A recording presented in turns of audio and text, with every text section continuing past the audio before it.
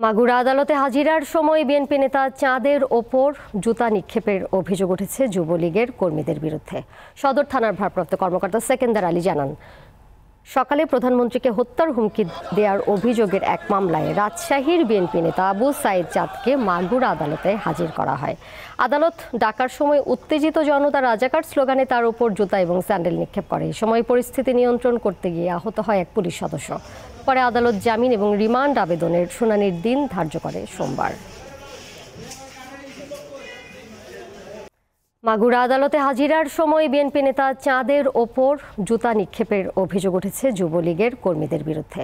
সদর থানার ভারপ্রাপ্ত কর্মকর্তা সেকেন্দার আলী জানান সকালে প্রধানমন্ত্রীকে হত্যার হুমকি দেওয়ার অভিযোগের এক মামলায় রাজশাহীর বিএনপি নেতা আবু সাইদ চাঁদকে মাগুরা আদালতে হাজির করা হয়। আদালত ডাকার সময় উত্তেজিত জনতা রাজাকার স্লোগানে তার উপর জুতা এবং স্যান্ডেল নিক্ষেপ করে। সময় পরিস্থিতি নিয়ন্ত্রণ করতে গিয়ে আহত হয় এক পুলিশ সদস্য। পরে আদালত জামিন এবং রিমান্ড আবেদনের শুনানির দিন ধার্য করে সোমবার।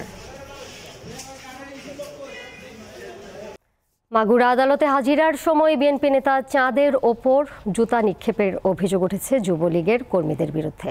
সদর থানার ভারপ্রাপ্ত কর্মকর্তা সেকেন্দার আলী জানান, সকালে প্রধানমন্ত্রীকে হত্যার হুমকি দেওয়ার অভিযোগের এক মামলায় রাজশাহীর বিএনপি নেতা আবু সাইদ চাঁদকে মাগুরা আদালতে হাজির করা হয়। আদালত ডাকার সময় উত্তেজিত জনতা রাজাকার স্লোগানে তার উপর জুতা এবং স্যান্ডেল নিক্ষেপ করে। এই সময় পরিস্থিতি নিয়ন্ত্রণ করতে গিয়ে আহত হয় এক পুলিশ সদস্য। পরে আদালত জামিন এবং রিমান্ড আবেদনের শুনানির দিন ধার্য করে সোমবার। মাগুরা আদালতে হাজিরার সময় বিএনপি নেতা চাঁদের ওপর জুতা নিক্ষেপের অভিযোগ উঠেছে যুবলীগের কর্মীদের বিরুদ্ধে। সদর থানার ভারপ্রাপ্ত কর্মকর্তা সেকেন্দার আলী জানান সকালে প্রধানমন্ত্রীকে হত্যার হুমকি দেওয়ার অভিযোগের এক মামলায় রাজশাহীর বিএনপি নেতা আবু সাইদ চাঁদকে মাগুরা আদালতে হাজির করা হয়। আদালত ডাকার সময় উত্তেজিত জনতা রাজাকার স্লোগানে তার উপর জুতা এবং স্যান্ডেল নিক্ষেপ করে। সময় পরিস্থিতি নিয়ন্ত্রণ করতে গিয়ে আহত হয় এক পুলিশ সদস্য। পরে আদালত জামিন এবং রিমান্ড আবেদনের শুনানির দিন ধার্য করে সোমবার। মাগুরা আদালতে হাজিরার সময় বিএনপি নেতা চাঁদের ওপর জুতা নিক্ষেপের অভিযোগ উঠেছে যুবলীগের কর্মীদের বিরুদ্ধে।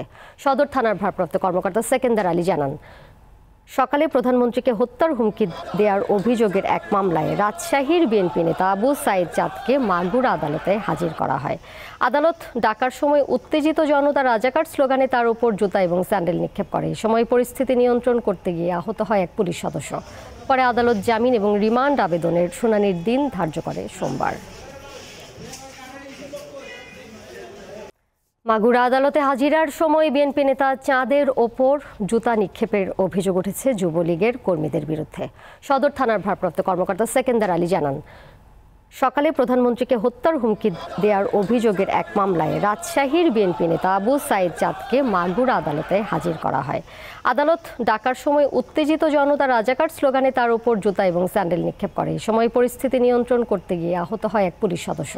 পরে আদালত জামিন এবং রিমান্ড আবেদনের শুনানির দিন ধার্য করে সোমবার।